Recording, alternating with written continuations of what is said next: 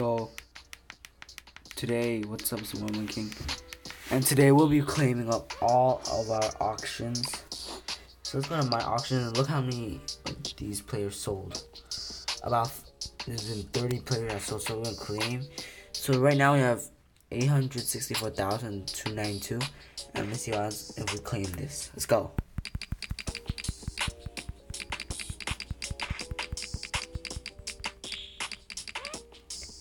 The grand total is wow, a million one thousand, a million one hundred thousand, one hundred forty-five thousand and two. Not bad. So that's all for the video and peace.